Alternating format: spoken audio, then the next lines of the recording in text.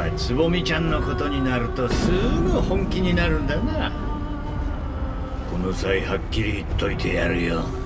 茂雄お前にはあの女は無理だ。は高根つぼみはいらないものはいらないときっぱり言う人間だった。多少強引に飴を渡そうとしたら手をはたかれちまった。友達を通じて勧誘しても興味を示さなかった。人に合わせず自分の価値観にのっとって生きている強い女だ。お前が超能力を自慢したところで見向きもしないわけだ。仮にお前が体を鍛えたところであの子は茂雄を必要としないだろう。だが今や彼女もサイコヘルメット教の仲間の一人だ。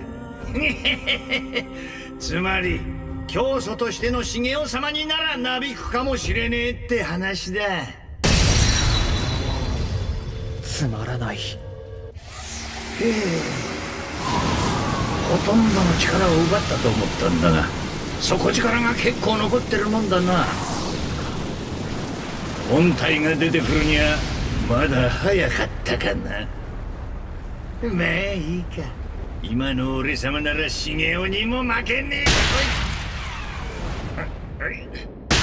ちょ待てよ。あえ